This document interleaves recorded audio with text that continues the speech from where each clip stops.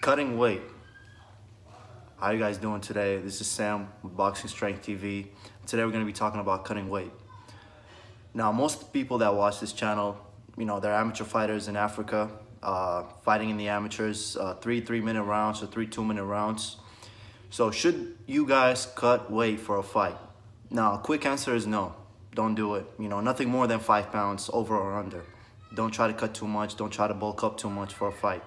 Now, the reason is you guys don't have that much time to recover. You don't have that much time to rehydrate yourself after the weigh-in. So what that does is that when you go fight, you're gonna feel weak, you're gonna feel dehydrated, you're gonna get, when you get hit, you're gonna get hurt easier because there's a, there's a fluid in your brain that helps protect your brain. So when you get hit and you don't have that much fluid because you're dehydrated, every hit is gonna magnify. You're gonna get hurt a lot easier. You can even get knocked out a lot easier. So cutting weight for an amateur fight is really a mistake. You shouldn't do it. Just try to get as in shape, as healthy as possible. Get into your natural weight where you feel strong, you feel healthy, and you just feel like you belong to that weight class. And you stay there. Don't cut, you don't go up, unless you naturally grow up because you're a younger guy and you just go up in weight naturally, then that's okay but you just stay at that weight until you until you just you just fight at that weight. That's it. You know, you don't try to cut, you don't try to bulk up. Get into that weight, get in shape, and you just fight. Don't worry about cutting weight if you're an amateur fighter because you just don't have that much time to cut weight. You don't have that time. But for professionals, if you have that one day, that's good. Maybe you can cut a little bit more weight.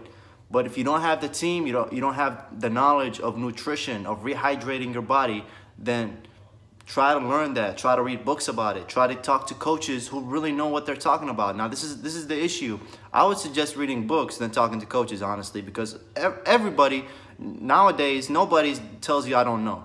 You ask somebody something, they'll tell you something. Doesn't mean it's true. Most likely, it's going to be false information. It's not true.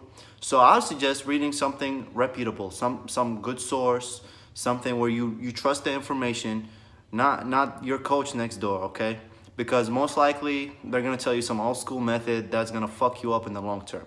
So really be careful of where you're getting your information from. And I'm telling you here guys that cutting weight for an amateur fight or even a pro fight, if you overdo it, if you overdo it for a pro fight, it's bad for you. Your performance will go down and you just you just won't perform as well. Now I've done that once for my last fight. I've cut too much weight uh, I, I was not able to rehydrate in time because it was an amateur fight and I performed very poorly. You know, even though I got knocked down, I was still able to win the fight, but I felt very weak. I felt like I was just drunk or something and, during the fight. So I believe that was because of cutting weight because I just felt I just felt weird. Like I just didn't feel like myself the whole day. I was paranoid. I was just going crazy. I just felt like my stomach was empty and I just even no matter how much I ate and I couldn't eat much because I was really nauseous it just wasn't a good deal for me. So don't cut too much weight guys. Just get in shape and fight. That's it. Don't worry about anything else. Don't listen to people tell you oh you need to cut down so you have your longer reach on the smaller guys. That's bullshit. The smaller guys will fuck you up because they're to be stronger and healthier than you. You know cut cut enough weight you won't be able to walk properly let alone fight so don't listen to that shit. Just get in shape and you will do well.